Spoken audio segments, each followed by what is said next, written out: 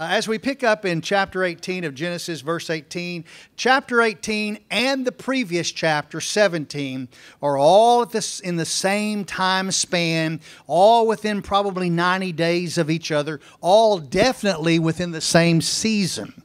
In fact, chapter 17 and 18, Abraham is 99 to 100, somewhere in there. We don't know if he's had his birthday yet or not. And Sarah is 89 to 90 years of age. They are living in Hebron. Hebron is 20 miles from the Red Sea, I mean, the Jordan Valley.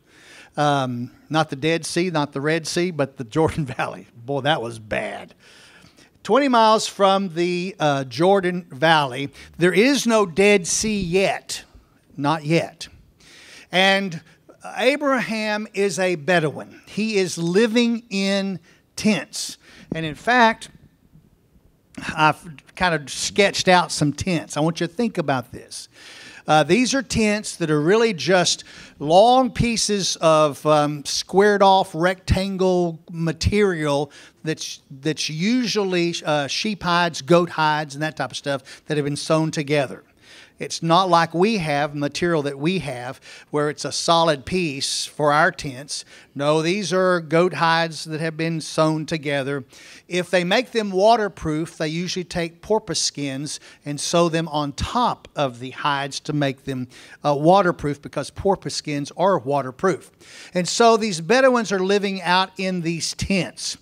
Now, we picture, and that's why the picture that I have, I wish I could show you. We picture, when we think about Bedouins, we think about all these tents that are, are out on the desert in the sands. And literally and truthfully, is whenever they uh, desired to move, um, picking up one of these tents and rolling it up and putting it on a camel, whatever, and carrying it around was a difficult chore to do. Not like the tents that we have today, where we can load up five or six tents and put them in a packet and have a have a ten year old carry them all because they're made out of that lightweight material. No, these are heavy, heavy tents. They lived in these tents, and Abraham lived in tents most of his life. We do not know about when he was in the Ur of Chaldees, whether he was in a uh, brick and mortar type uh, house, uh, like. Um, the people are going to be living down in Sodom, by the way. They're going to be in, in, in uh, uh, fired brick homes where they've taken mud bricks and hardened them by cooking them in a fire. Abram is going to be, since the time he left Haran, he's going to be living in tents. He will live in tents all his, the rest of his life.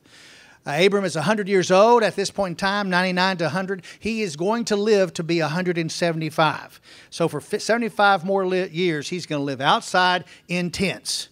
How many of y'all would like to live outside in tents? Uh, this morning in the 8 o'clock class, we have a, a, lady in that class who actually grew up in Syria, and she was well acquainted with, still today, people are living in these tents like Bedouins. They have their animals tied outside, they, they are living in these tents. Everything is there, there's no electricity, everything they carry with them, they cook. The whole thing is done around these tents.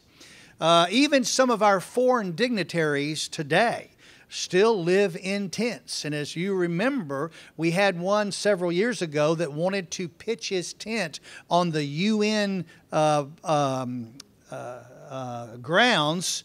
Uh, coming to America to pitch his tent on the UN grounds, and we were really, not sure whether he was because we didn't like him, or America didn't like him, whether we were going to let him come in and put his tent. He didn't stay in hotels. He didn't add anything to the economy of our world, not at all. No, they brought everything they needed. They brought their tents, they brought their food, they brought everything with them and did nothing for the economy of the United States uh, when they came to the UN. And we have lots of this going on. We just don't think about it because we have to understand the poorest person in our United States is usually wealthier by far than the rest of the people around the world because they live and are very, very poor. Now, yes, we have the multi million and billionaires who control the oil industry and other things like that, but it doesn't get down to the majority of the people.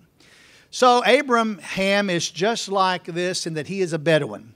He is a sojourner. He is everywhere he travels. He is traveling uh, in, a, in with his tents, with his people. And, and when you think about this, I drew three tents, but you have to remember Abraham had a house. The house, we're not talking about house, we're talking about under his household, but they're all living in tents.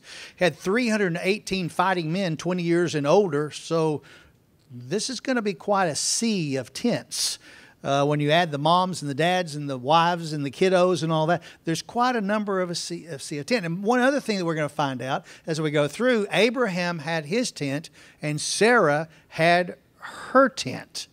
And it was quite common to have separate tents for the husband and separate tents for the wife and that things. And the kids would be all in one place. And it's just interesting some of the customs and the dynamics that were going on. We pick up in verse 1 of chapter 18. It says, Now the Lord appeared to him by the oaks of Mamre while he was sitting at the tent door in the heat of the day. First of all, who is Mamre? Mamre was a Canaanite friend of Abraham, who is allowing him to, for his whole clan, Abraham's clan, to pitch their tents there in the oaks of Mamre. The oaks of Mamre was a little cluster of oak trees that Mamre owned. So, we think about uh, these tents being out in the desert. And surely they probably would have been had Mamre not allowed them to put their tents in his little forest of oak trees.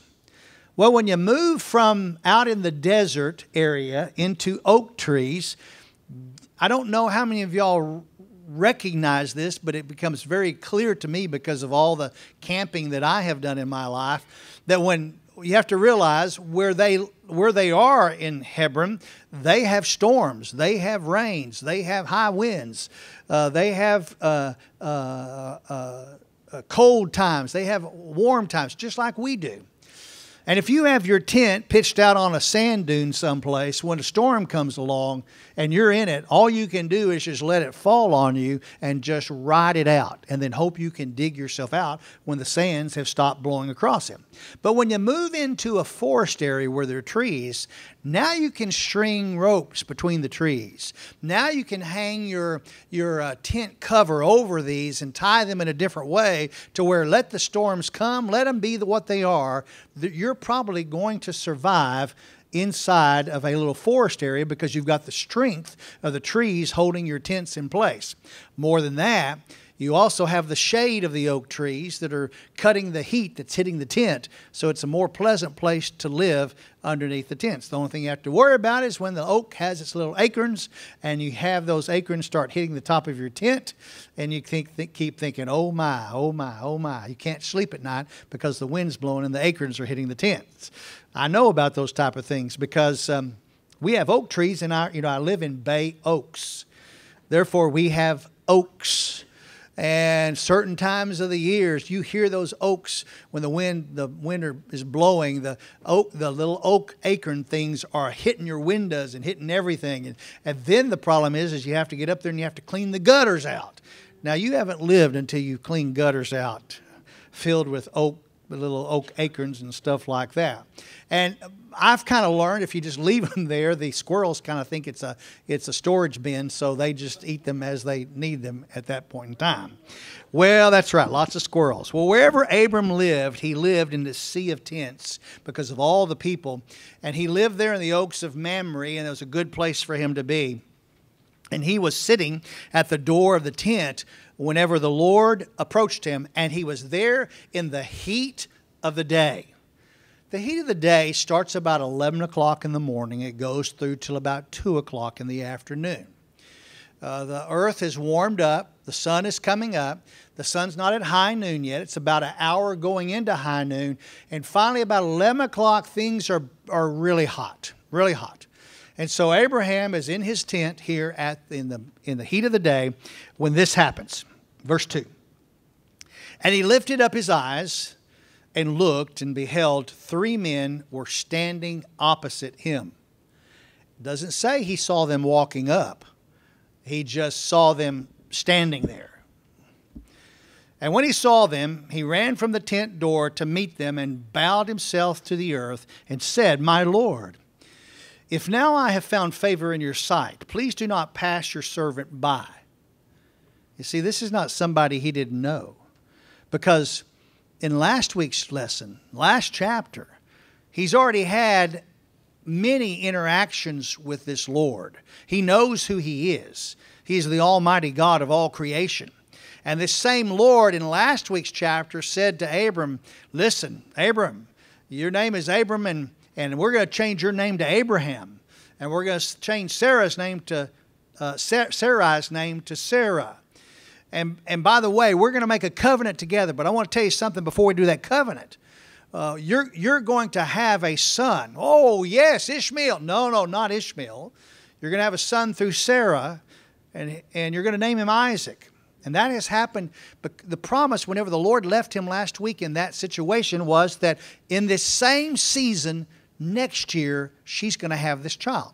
Well, the Lord has left, and now the ceremony of the circumcision ceremony of everybody in Abraham's tribe and family has, has taken place. And now the Lord has come back to see Abraham again. And, the, and Abraham sees him and he recognizes him. Verse 4 says, Please let a little water be brought and wash your feet, and rest yourselves under the tree, and I will bring a piece of bread that you may refresh yourselves. And after that, you may go on, since you have visited your servant. Uh, Abram's thinking he's just coming by just to check on me. And by the way, while he's here, I want to get him a piece of bread. I want to wash his feet. I want to take care of him. I got some real questions about that, but I'll ask that in a minute. And they said to him, Do so as you have said. So Abram hurried to the tent of Sarah, the tent of Sarah. He didn't hurry to his tent that he was sitting in. He hurries to Sarah's tent. You catch that? And he said, Quickly, prepare, prepare three measures of fine flour, knead it, and make baked cakes. Okay. How long does it take? I'm just asking questions. Just can't. How long does it take to stir up some flour? Not long to stir up some flour. Not not long to knead it and all that. Kind of, make a fire, bake some bread. Mm, an hour. Unless you don't let it rise, but an hour if you don't. And if you do, a little while longer than that. Okay. Verse 7 Abraham also ran to the herd. and He took a tender and choice calf and gave it to the servant, and he hurried to prepare it. Okay, so now that's going to take a little while longer to prepare than the bread would take. Okay, and he took curds and milk and the calf which had been prepared and placed it before them, and he was standing by them under the tree as they ate. Standing by them as they ate. That is not a normal place to eat. Uh, standing is not the normal way that they did it. Back in those days, they said that they were going to prepare the table, but it wasn't a, a table. It wasn't a table like if you go to a restaurant or at your house and you set everything and everybody pulls up chairs. For them, a table was a small piece of carpet or a tapestry that was laid on the ground, something they could beat out to keep it clean. They'd lay it out, they put the food on it, and every and the men would lounge around that piece of carpet or sit cross legged and they would eat with their hands. They had no utensils. They would eat with their hands. They'd pass it around, but they would do it on the ground. They're not eating on the ground, they are standing as they're eating. My question I have lots of questions about this. I wish I'd have been there. I would have loved to have seen just to answer some of my spiritual questions. Number one, what was the Lord and the two assistants, which were two angels, by the way? We'll find that out next chapter. What were they doing while everything was being prepared? Were they going from tent to tent saying, Hello, how are you? What are you doing? Can we help you with anything? Can we blow something up? Can we heal anything? No, they're not doing that. Uh, probably they're standing under the oak tree like this. Just standing there. Nothing's bothering them. They're just standing there. Do you remember that angels are spirit beings? And they have been around since the day they were created on the first day of creation. So waiting four or five hours standing up is probably not going to bother them, even though they're older than Methuselah. Not going to bother them. They've been around for a long time and they're just doing what they need to do. They're just standing there waiting. Then I've got some real questions. Abram's fixing bread, meat, milk, and curds for the Lord and two angels. Do angels eat food? And if they do eat food, what do they do with the food after they have eaten it?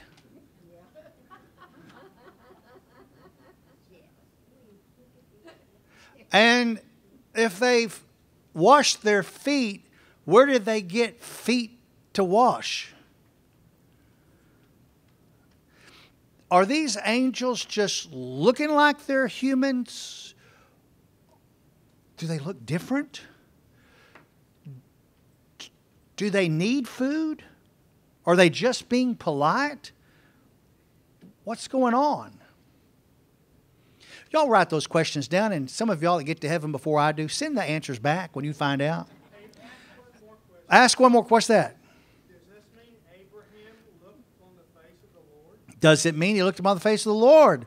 Well, that's a question we already answered two weeks ago, and the answer is yes, Abraham has seen the face of the Lord because he can look upon the face of the Lord. Yes, don't you know that when the Lord came to earth, people looked upon his face? The person you cannot look upon his face is God the Almighty, God the Father, and live. God? Okay. So, this meal is prepared, and lo and behold, I don't know the answers to those questions. All I know is it took a little while for that meal to be prepared, and those angels and the Lord stood under the oak tree and waited, and then they ate with Abraham there, uh, and Abraham watched. Yes, ma'am, Mary.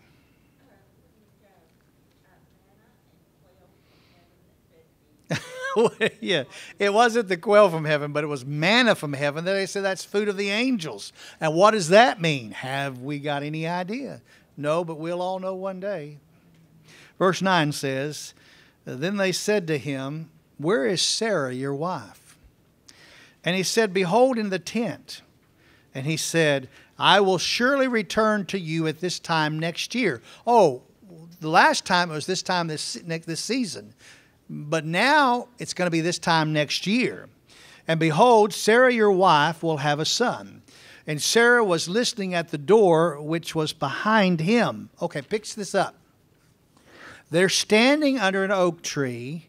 Abram is Ham is standing there with the angels. The Lord asks, Where is Sarah? Sarah is in her tent that is behind Abraham, right there. Sarah is listening to what is being said, and now Abraham and Sarah were old, advanced in age, and Sarah was past childbearing. Sarah's going to laugh. You know that. That's coming up. Here it is. And Sarah laughed to herself, saying, After I have become old, shall I have pleasure, my Lord being old also? Meaning, Abram, you're 10 years older than I am. You're ancient. I'm going to have a child. You're going to have a child. Can this be? she laughs. And the Lord said to Abraham, Why did Sarah laugh, saying, Shall I indeed bear a child when I am old? And look at the word. I love the next thing he says. Is anything too difficult for the Lord? And at the appointed time I will return to you. There it is again. At this time next year, and Sarah shall have a son. It's a repeat. And Sarah denied it, however, saying, I did not laugh, for she was afraid. And he said, Nope, but you did laugh. Can you imagine? Sarah's back there. She's 90 years old, 89 to 90 years old. She has seen all these women through 90 years about uh, give birth to children and the joy and the pleasure that that is for a woman to have a child, to hold a child, to nurse a child, to raise a child. What pleasure that is. It is beyond it is one of the greatest things that women ever do is to have and bear children and to raise them. It is just uh, unimaginable to men of what that is like, even though we play the other part as men. I understand that. But we never understand what a woman thinks. I'm often amazed, and I say this quite often. You know, uh, you send boys and girls off to college, and they are wilder than wild can be. And lo and behold, they come out of college and they've learned a bunch of stuff they shouldn't have learned at college. And then they finally they uh, they get married. A uh, boy and a girl gets married, and um, they're still kind of running wild. And then lo and behold, and this is not always the case, but in, in general, but not always. And then lo and behold, the, the wife, the young wife, becomes pregnant and she's still kind of running a little wild, but something happens when that little critter comes out. Something happens to the brain of a woman when that little critter comes out. She turns almost across the board.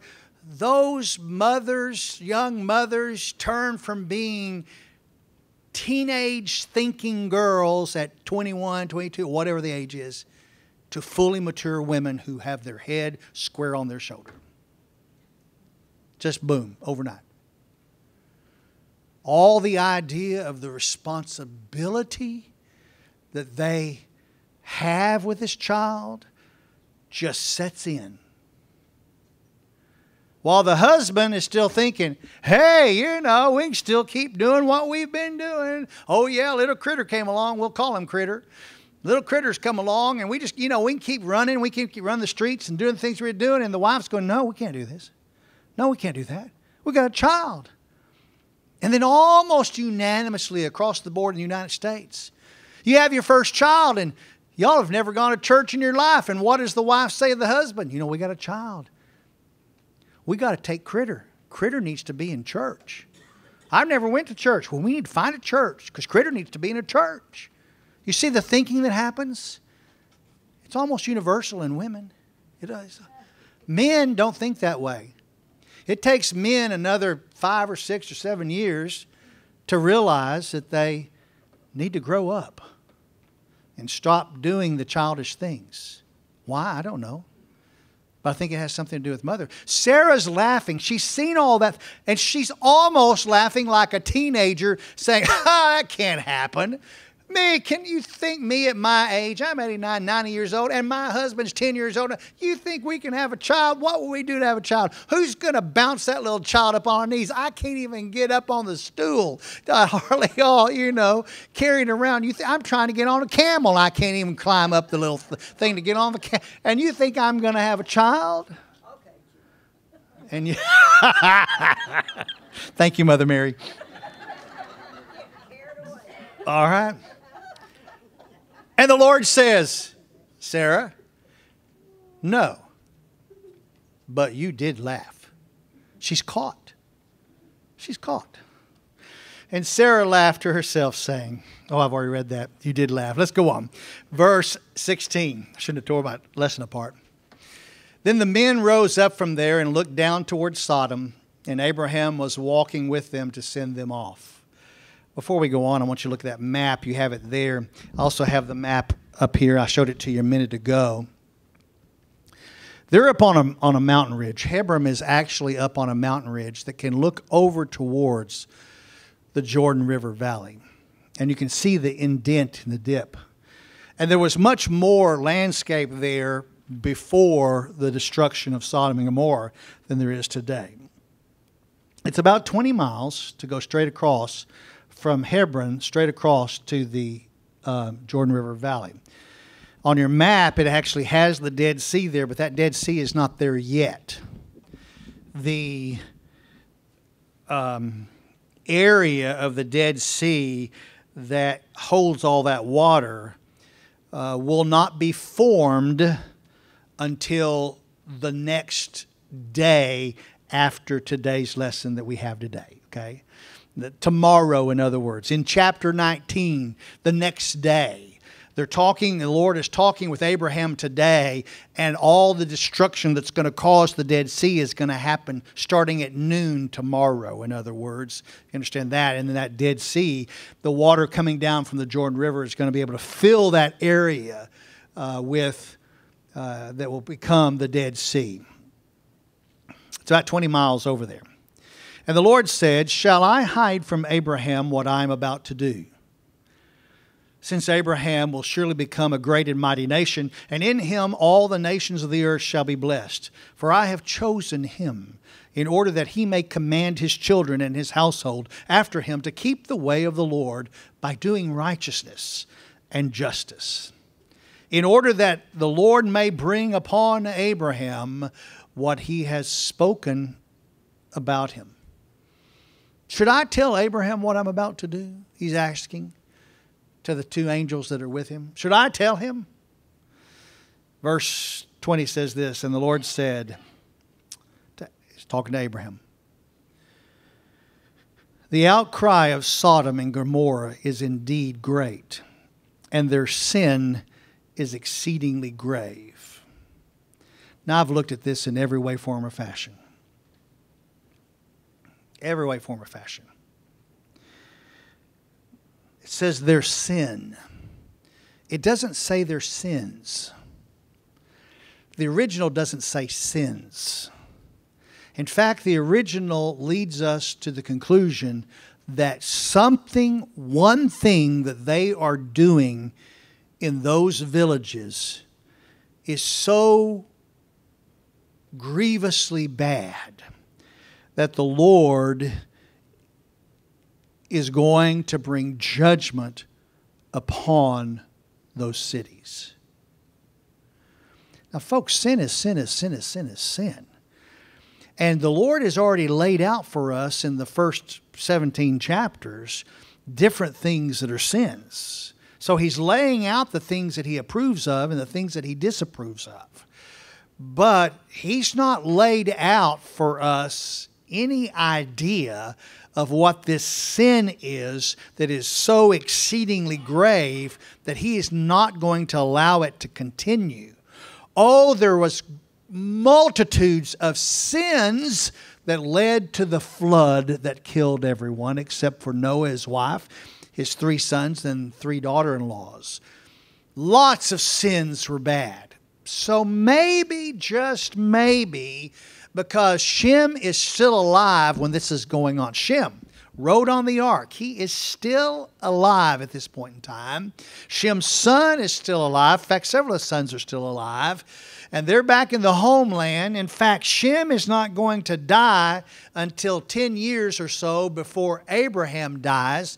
Abraham is going to live 75 more years. So we possibly still have some teaching that we don't have in the Bible that Abraham knows or has been portrayed down through the people of the Lord who are still trusting in the Lord, that they know some of the reasons why the flood had to occur because of the, the uh, disdain that the Lord had for the sins that were going on. But here we have one sin. It's not two sins. It's not three sins. It's not four sins. It's not a whole pile of sins.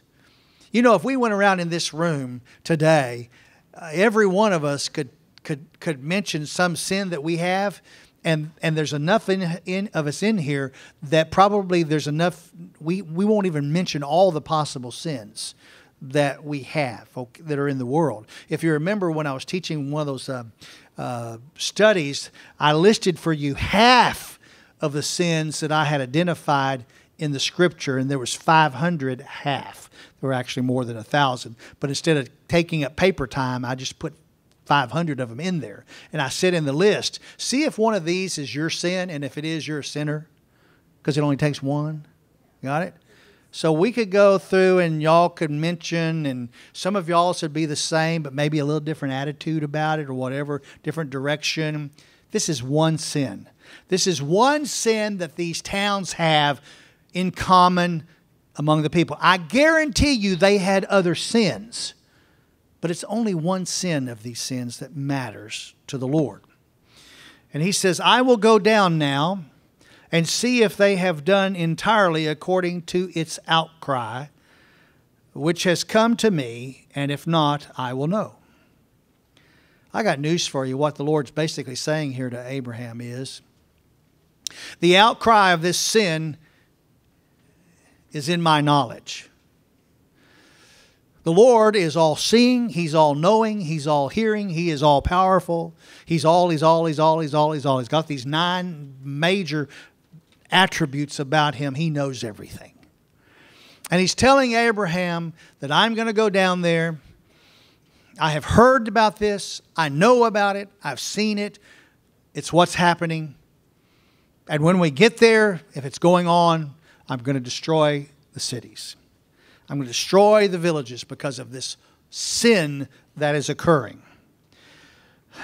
Verse 22 says, Then the men turned away from there and went towards Sodom, while Abraham and was still standing before the Lord. The Lord doesn't go down there, by the way. Nope, not going to go down there. Because Abraham is going to enter into a negotiation with the Lord negotiating with the Lord. I wonder if that's a smart thing to do. Negotiate with the Lord. Trying to work things around so that something that the Lord says is a sin that you are doing or some family member is doing, mm, there might be a way to work around the gray edges and the loopholes and get you out of that sin get you out of that condemnation that's coming your way. To reason with the Lord. You read in the Bible, it says something very plain and uh, plain, and you just, you pick up and you look up and you say, "Well, that applies to everybody else, but that's not going to apply to me." The two angels are headed on down to Sodom. The two, uh, uh, the two assistants to the Lord. Now, I want to remind you, Sodom is 20 miles from Hebron. We are late in the afternoon. Late in the afternoon. They show up in the heat of the day, 11, 12, somewhere along in there. Takes a little while, maybe three, four hours, whatever, get the meal together. They eat the meal, they talk. They walk towards the edge where they can look down and see Sodom, the valley of the Jordan River over in the distance. The two angels keep going on. Uh, by the way, it's 20 miles away. I, I said that, right? I did. And course, we know that a 20 mile journey for a human being takes all day. They start early in the morning after they've had breakfast. They walk about 10 miles. They stop. They make a small camp. They cook their meal for the meal for the day. They rest in the holiday for a little bit, and then they go on 10 miles more. And when they get 10 miles more, they stop. They make camp for the night. About 20 miles a day is all they can make. It's already afternoon, and we're going to speed ahead in what I'm going to tell you. These two angels get to Sodom before the sun goes down. These angels are moving like that. Okay? There's no way they could have just walked 20 miles and gotten there before the sun went down. There's no way they could have gotten there before the gates of the city would have been closed for everyone to be in for security of the night because everybody was still at the gates and Lot was still at the gates sitting when they saw them walking up. They got there. They looked like they moved there slow, but they moved there fast.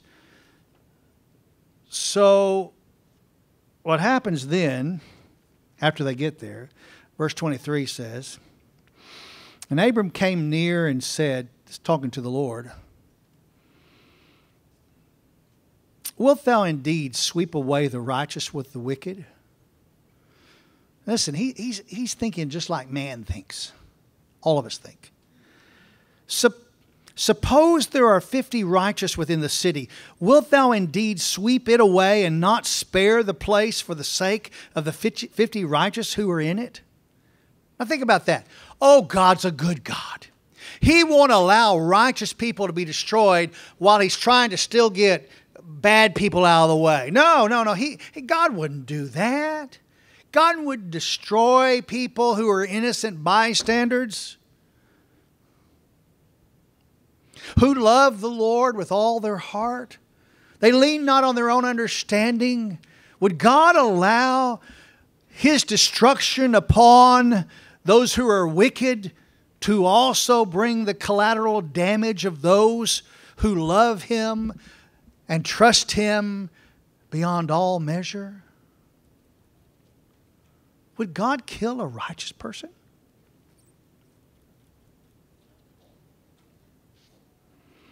Paul kind of answers that for us just before he was going to be beheaded. He says, To be absent from the body is to be present with the Lord. And whether I live, I live for Christ. And whether I die, I die for Christ. Who's Christ? It's the Lord we're talking about here. And the answer to that question is yes. The Lord will allow the righteous to, in a moment, in a twinkling of an eye, lose their physical life here on earth to have eternal life with Him in heaven. He will. So Abraham continues to negotiate with God. He goes on to try to shame the Lord. You got it? Verse 25. Far be it from thee to do such a thing, to slay the righteous with the wicked, so that the righteous and the wicked are treated alike. Far be it from thee. Shall not the judge of all the earth deal justly? The Lord set up the system of how it works. Abraham doesn't like the system, and I don't like the system either. I don't like the system that one day all of us are going to have to pass to go to heaven through the portal of death. It's just the way the Lord set the system up. And we're going to enter in that. Why does the Lord take out me, who's righteous? I know some of y'all might think different, but the righteous, so that I have to stop teaching here on earth of God's blessing so that I can go on to be with the Lord in some place that I know a whole lot about, but I'm not sure about to getting there. Okay? I know, I know, I know that when it's time for me to cross the chilly Jordan and go into heaven, it's going to be on dry ground and it's not going to be chilly for me, but it sure is chilly for the rest of us who are, who are, who are left behind. I've got my bags packed. I am ready to go. But why me, oh Lord, when I'm doing such a good job for you? I'll ask that same question for Adrian Rogers. Why did the Lord have to take Adrian Rogers? Why did he have to take W.A. Criswell? Why, I mean, I can name names. Why did he have to take L.D. Morgan? Why? When they were doing such good jobs for you? Because it's part of God's plan. It's part of God's plan. Oh, Abram says, Surely you wouldn't do that. And so the Lord said, All right, Abraham, if I find in Sodom 50 righteous within the city, then I will spare the whole place on their account.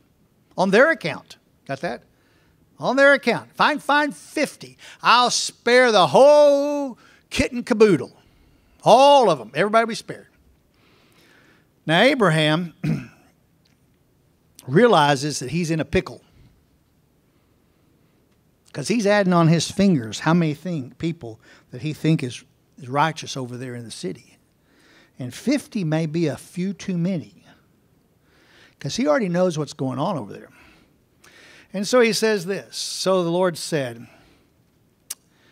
Now behold, I'm sorry, verse 27, now behold, I have ventured to speak to the Lord, although I am but dust and ashes. You know, I'm just mortal, I'm human. Suppose 50 righteous are lacking five. Wilt thou destroy the city because of five? Abraham was a smart man. I don't think he was over there counting on his fingers. He says, But what happens if it lacks five? And the Lord goes on to say, I will not destroy it if I find 45 there the Lord can add. 50 minus 5 is 45. And he spoke to him yet again and said, Suppose 40 are found there. And he said, I will not do it on account of the 40. And he said, Oh, may the Lord not be angry and Shall I speak? Suppose 30 are found there. And he said, I will not do it if I find 30 there. And he said, Now, behold, I have ventured to speak to the Lord. Suppose only 20, I added the word only, 20 are found there. And he said, I will not destroy it on account of 20. And then he said, Oh, may the Lord not be angry, and shall I speak only this once? I'm just going to talk once more, as if he hadn't already been talking and figuring. Suppose ten are found there. And the Lord said, I will not destroy it on account of the ten. And as soon as he had finished speaking to Abraham, the Lord departed, and Abraham returned to his place. Now I'm going to tell you what I think Abram was thinking. He has negotiated down to 10. He probably should have negotiated even further. In fact, I believe that Abraham has made a calculated mistake. Here's the reason why. Abram knows, Abraham knows that Lot is over there, and Lot's wife, Salty, is over there.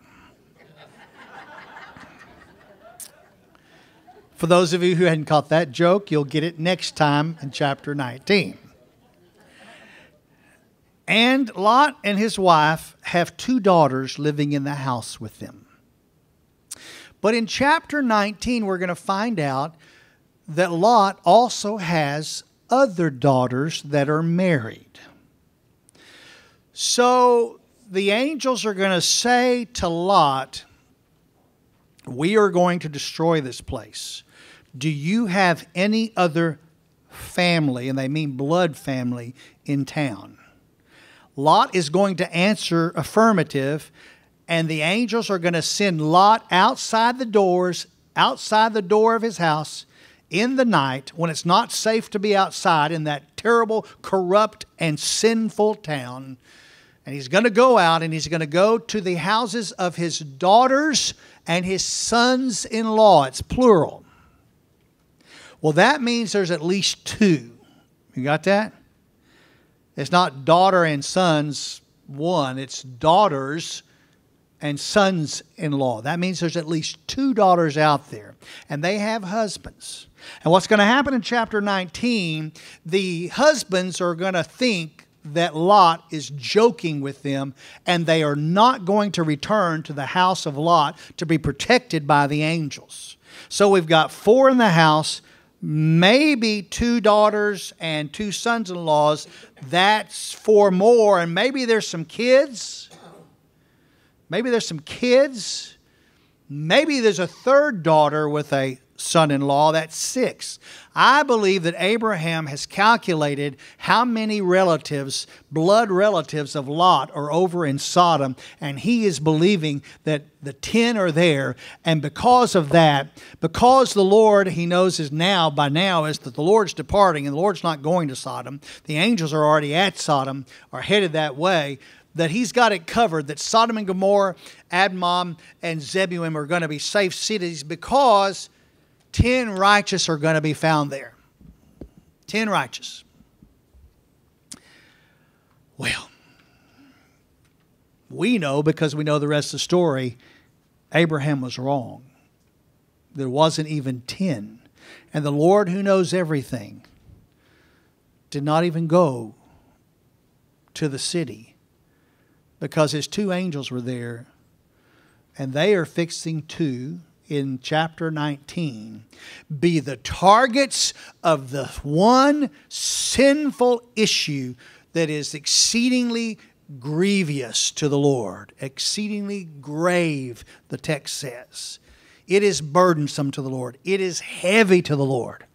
And we will see what that sin is when we join together in chapter 19 next time. Lord Jesus, we thank you for this time to study your word. In your name, amen and amen.